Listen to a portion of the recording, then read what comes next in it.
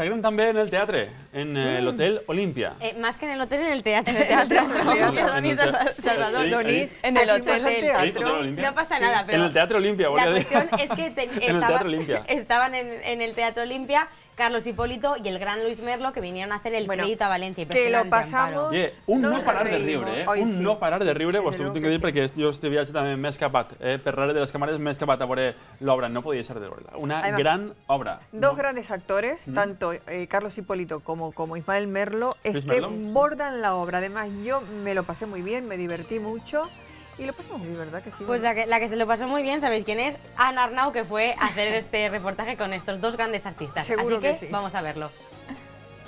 Por fin llega a Valencia El Crédito, la última obra del autor de teatro Jordi Glacerán, El Rey del Humor Negro. Una comedia divertidísima protagonizada por Luis Merlo y Carlos Hipólito. Vamos a ver qué nos cuentan.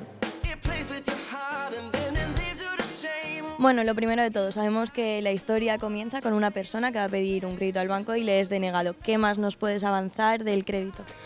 Pues que esa persona a la que le niegan el crédito no hace lo que haríamos cualquiera, que es irse con la cabeza baja diciendo, caray, qué pena, qué mal está todo, sino que se queda y le planta cara al del banco y le hace una amenaza, que no podemos decir cuál es, que crea una situación, en principio muy rara, que poco a poco va transformándose en una situación cada vez más delirante y que hace que estos dos personajes, el que ha venido por el crédito y el director de la sucursal bancaria, dentro de ese despacho vivan una experiencia absolutamente marciana que eh, siendo, como te digo, muy delirante y muy mm, extremada, siempre está dentro de lo verosímil. Es decir, es raro que pase algo así, pero podría pasar. Y el público asiste muerto de risa a todo esto que te estoy contando. ¿Y cómo es posible crear una sátira tan divertida de un tema como son los bancos? Pues mira, porque eso se consigue con la inteligencia del autor y con su sentido del humor y su agudeza a la hora de analizar situaciones, ¿no?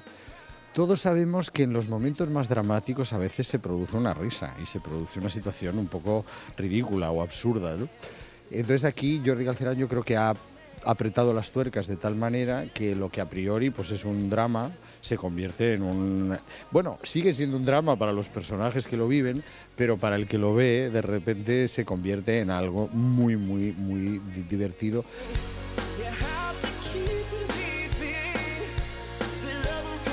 El ADN de la función es pura comedia y no trata en absoluto de la crisis. Trata de, de cómo dos personas tan antagónicas como el que está a un lado de, la mesa de despacho y el que está al otro, el que pide y el que no concede, cómo pueden estar muchísimo más cerca y cómo en, en muy poco espacio de tiempo, en unos cinco días, cómo puede darle la vuelta a la vida fundamentalmente del personaje que interpreta Carlos. ¿Cómo invitarías o cómo animarías a todos nuestros telespectadores a venir a ver el crédito? Yo soy mal vendedor, pero diría que aparte de la, de la inteligencia de la comedia, hay un punto de venganza hacia todos esos banqueros que nos han negado un crédito cuando más lo necesitábamos porque nos reímos de ellos. Con lo cual el público se siente de alguna manera vengado en, en la situación en la situación que casi todos hemos vivido y además vengado a través de la risa. Con lo cual que yo pienso que reírse es muy sano y cuando la risa tiene contenido, como es el caso, todavía más. Pues muchísimas gracias Luis, un placer poder haberte entrevistado y que sigáis teniendo tanto éxito como hasta ahora. Muchísimas gracias. Gracias.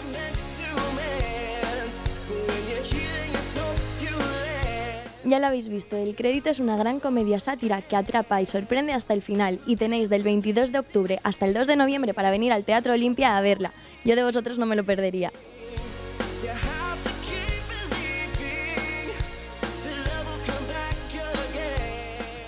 Hay que això en el Teatre Olímpia, un no parar de riure. Gràcies, Araya Frasquet. Gracias a vosotros. Gràcies, Paloma Alicia a vosotros un besito enorme. I